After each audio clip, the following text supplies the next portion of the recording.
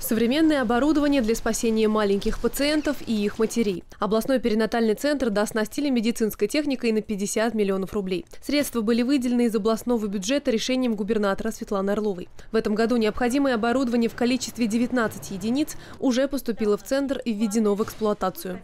Хочется сказать большое спасибо нашему губернатору и всей администрации, потому что вот такая программа, ну мы даже не думали, что такое вообще может быть для нашего перинатального центра. Закупка оборудования вот на эти 50 миллионов в 2018 году, ну это как дооснащение. Конечно, большинство аппаратуры у нас было, часть из них, может быть, изнашивалась, часть из них устарела. Теперь, как вы видели, это новейшие современные приборы. Два детских реанимационных места позволяют постоянно контролировать температуру новорожденного и следить за состоянием малышей с экстремально низким весом. Перед тем, как приступить к работе с оборудованием, персонал проходил специальное обучение. У старого оборудования мы не могли постоянно контролировать температуру, потому что у нас не было температурного датчика. И здесь у нас как бы включен небольшой монитор, который позволяет нам следить за жизненно важными функциями организма. Для проведения инвазивной вентиляции легких в перинатальный центр приобрели аппарат, помогающий восстановить функции дыхания. Подобное оборудование здесь уже было. Новое позволит добиваться более быстрых и качественных результатов. Такого с высокочастотной вентиляцией не было. У нас есть достаточное количество определенных аппаратов ИВЛ. Он позволяет высокочастотный режим при такой тяжелой патологии, при пневмониях, возникающих внутриутробно, если детки уже рождаются с этой пневмонией.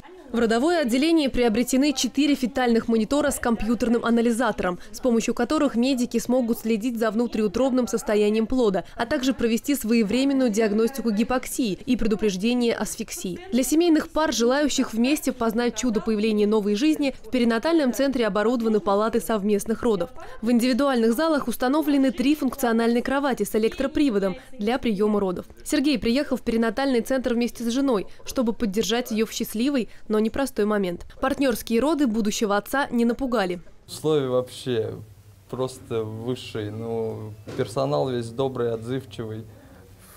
В коридорах, в палатах везде все чисто, все, все аккуратно. В принципе, условия здесь отличные. И вот партнерские роды, я думаю, что здесь ну, оборудована палата для них, там кресло для э, мужа принципе, здесь все замечательно. И партнерские роды, я считаю, что это прорыв, не надо этого бояться.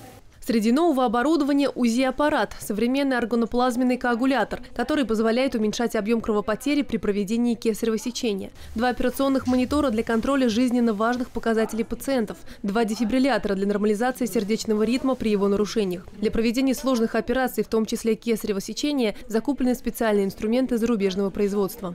Это очень удобные инструменты, потому что операции бывают и сложные, где требуется очень тонкая техника, особенно если э, повторное кесарево сечение, когда технически сложно выполнить операцию – Перинатальный центр также закупили два паровых стерилизатора, помогающих держать в чистоте инструменты и принадлежности для мамы малышей. Появился автоматический иммуноферментный анализатор крови для обследования беременных и детей на инфекционные факторы. Все для того, чтобы малыши были здоровыми, а их мамы – счастливыми. Екатерина Глазкова, Стас Трегубов, Губерния 33.